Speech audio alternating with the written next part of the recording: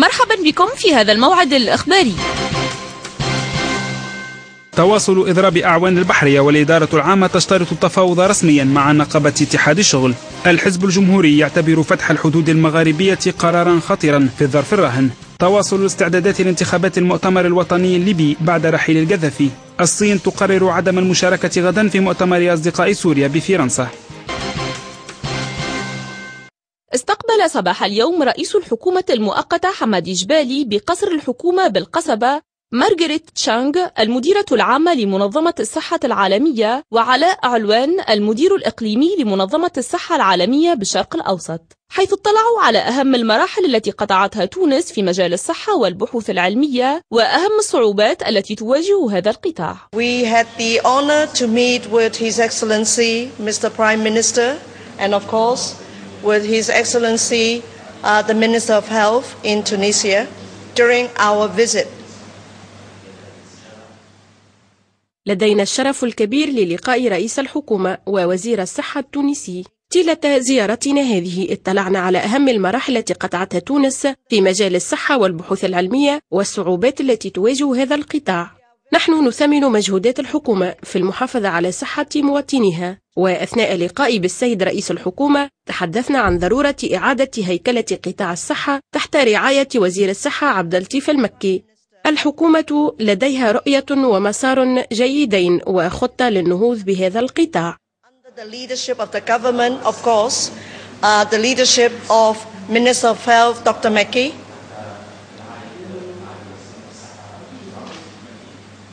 The government has a good vision and a good direction and a plan to go forward.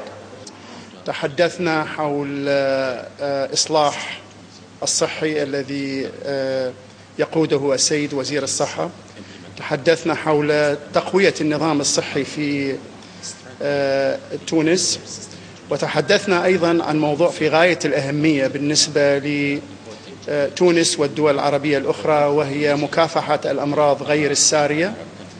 وأنا أعني بالأمراض غير السارية هي الأمراض القلبية الوعائية والسكري والسرطان وكذلك أمراض الرئة المزمنة التي تسبب الآن أكثر من 50% من الوفيات في تونس والدول العربية الأخرى والتي تحدث نتيجة ارتفاع عوامل الخطورة لهذه الأمراض مثل التدخين وللأسف الشديد نسب التدخين عالية جدا في هذا الإقليم.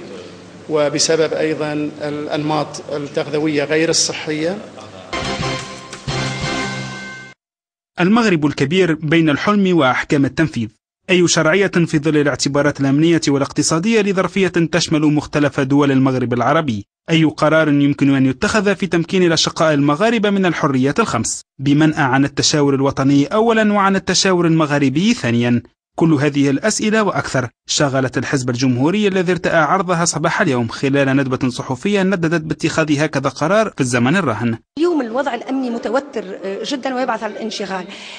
من المضحكات المبكيات أنه في وقت اللي الصحراء أعلنت منطقة مغلقة منطقة عسكرية مغلقة بمعنى مستوى التوتر كبير جدا. في نفس الوقت نقولوا رأي حدودنا مفتوحة وينجموا يدخلوا ببطاقات التعريف. هذا يأكد على يعني يأشر على وضع الحقيقة ما يبعثش على الارتياح عند الحكومة.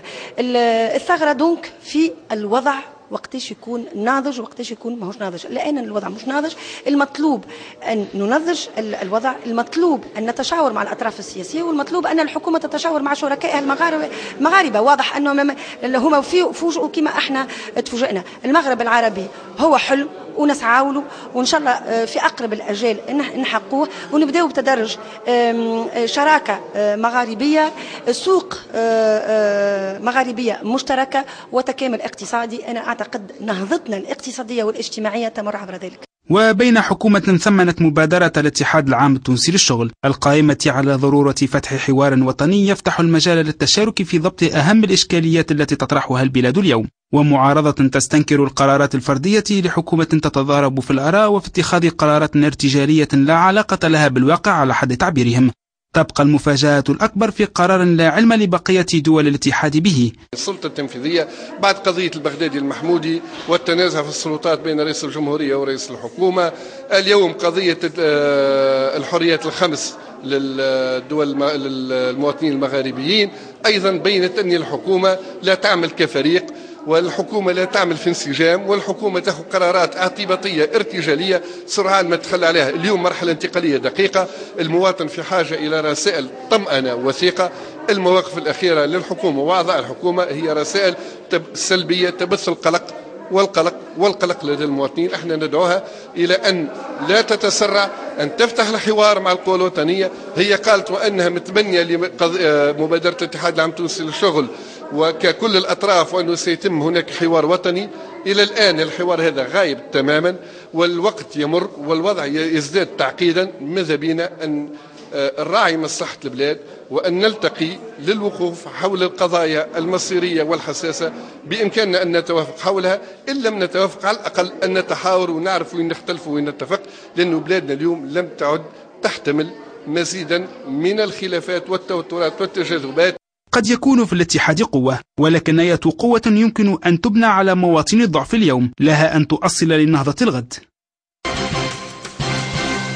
في ظل تواصل رفض صاحب شركة مبلتكس الاستجابة لمطالب العمال المتمثلة في تحسين ظروف عيشهم اصطف عمال مجمع مبلاتكس وقفة رجل واحد بمقر الاتحاد العام التونسي للشغل. رافعين لافتات تنادي بالتدخل العاجل أملا في حل لما يعانونه من ظروف عمل أقل ما يقال عنها بأنها قاسية ولا تستجيب لمقومات العمل الكريم. تو وصلنا من برشا مطرودين. المشكلة الهياكل النقابية الكل لأنه في الليستة هما الأولانيين وعمال مانا عاديين كيف نحن زاد في الليسته مانا مطرودين.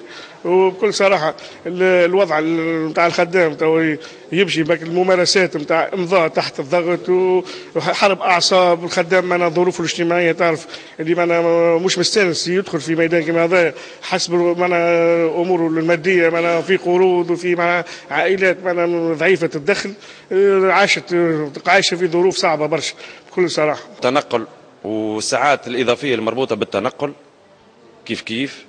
آه، الصحة والسلامة المهنية أغلبية الخدامة اللي كيفي أنا والشوفرة كلها معاقين. جميع حقوقنا مسلوبة وإحنا الحاجة الوحيدة طلبنا بحقوقنا المسلوبة. ويصلحوا لنا الوضعية متاعنا. هذا هو اللي طلبناه معناتها من الشركة باش تعطينا حقوقنا. وعلى النتيجة هذه فهمت يصدونا وطردونا وشردونا. توجهوا بنداء. لكافة مكونات المجتمع المدني.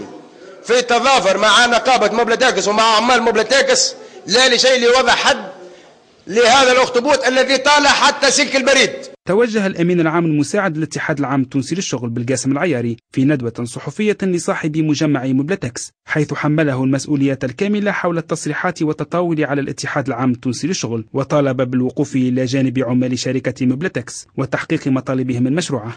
الاتهامات هو كان مش اتهمنا انه الخدامه عاملين اضراب على لباس الشغل وعلى نظام العمل وعلى المنح نتاعهم فليتهم كما يريد معناها إذا كان واحد يتهم الخدامة أنهم طالبين بحقوقهم يتهم الاتحاد العام بالإضراب فنحن لها.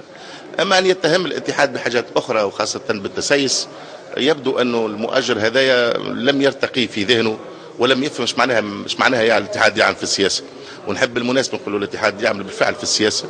ولكن السياسة اللي هي فوق الطاولة السياسة اللي هي تخدم شعبنا وتخدم بلادنا وتخدم المخططين نتاعنا وتخدم الاقتصاد وتخدم مؤسساتنا بما فيهم الأعراف اللي ما نجم نتمناو لهم كان الازدهار المؤسسة الاقتصادية نتاعنا والنمو والمؤسسات نتاعنا كلها تبدأ رابحة وتبدأ مؤسسة رابحة راهو في فايده الخدام وفايده الشعب التونسي والاقتصاد التونسي. إنما نحن متس... الاتحاد متسيس في هذا أمر مولي عليه وهذا العرف المتطاول على الاتحاد العام التونسي للشغل وهي ظاهرة جديدة لم لم نعيشها قبل مع الأعراف آه، آه، هذا تطاول على الاتحاد تطاول نعتبروه ممنهج والاتحاد مش باش يبقى مكتف في يديه ومش يرد بقوة على هذا المؤجر اللي لم يرتقي في ذهنه إلى العمل المؤسساتي والعمل نتاع الأطراف الاجتماعية اللي تخدم تونس في نهاية المطاف ومن أجل الاستقرار الاجتماعي في تونس. الاتحاد مش يرد على هذا المؤجر وأولها عن إضراب عام في سوسة لم يحدد تاريخه إلى هذا آه، لليوم مركزية تحدد التاريخ نتاعو بالتنسيق مع هياكل جهة سوسة إن لم نتوصل إلى حل تفاوضي يفضي إلى آه، تحقيق مطالب الناس وعودة الخدام الكل للمؤسسة بدون قيد أو شرط وخاصة أعضاء النقابة الأساسية لأنه ضرب في العمق الحق النقابي بعد ما ضربوا في تيل أفريقيا بعد ما ضربوا في محطات أخرى نقابية ترضن النقابات اليوم نفس الشيء نعيشوه مع عمال في هذه المؤسسة بعد ما كدوا بعد ما اعطاوا من بدنهم بعد ما بد دمهم تبزع على الماكينة اليوم نلقاهم في الشارع في الشمس في الضياء وشهر رمضان داخل علينا. ومن بعد وفاة أحد العمال اللي عائلتنا عائلتهم أشعرتنا في إنه تم شعوره بقطع العلاقة الشغلية. عمل ال crise cardiaque وطاح توفى في الوقت هذاك بالذات. هذا المؤجر يتحمل مسؤوليته كاملة في اللي مش يقع وفي اللي مازال مش يقع. إذا كان ما يجيش للثنية وما يعطيش حق الخدامة وما يعتذرش للاتحاد العام للشغل على التطاول اللي قام به.